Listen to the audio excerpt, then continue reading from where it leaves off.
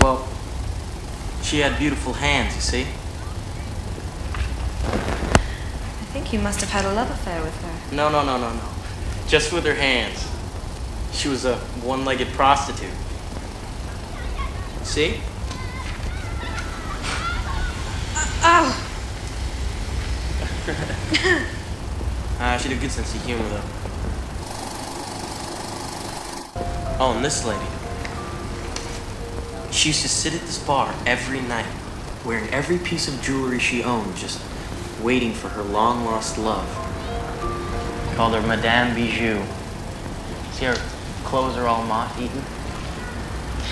Well, you have a gift, Jack. You do. You see people. I see you. And?